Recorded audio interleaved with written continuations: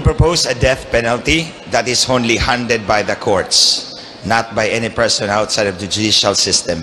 We propose a whole reform, a whole package of reforms in the justice system na mapabilis po ang paggulong ng hustisya upang maging epektibo po ang ating justice system. We have to reform the criminal justice system because swift justice plus the death penalty will prevent, for the most part, criminals from carrying out their crimes against humanity. Yeah! Hindi maayos ang justice system sa ating bansa. Tignan nyo yung mga batas natin ngayon.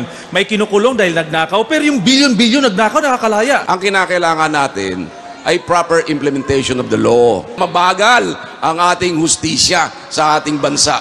Mahina ang ating justice system. Ang solusyon po sa problema ng kriminalidad ay ang isang efficient, predictable, and affordable na justice system. Ang problema, hindi naman swift and sure ang justice system kasi. Ang solusyon, swift and sure ang justice system.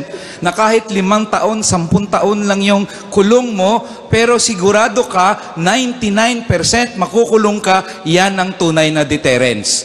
Pero, kung hindi naman swift and sure ang justice system, pwede mong bayaran si pulis, si piskal, si judge. Minsan, ma-appoint ka pang advisor ng presidente. Ang drug lord ay tuloy ang droga. Gusto ko, Junior ka, Pilipino! yung certainty of arrest, certainty of uh, judicial uh, prosecution, certainty of punishment ang kailangan. Ang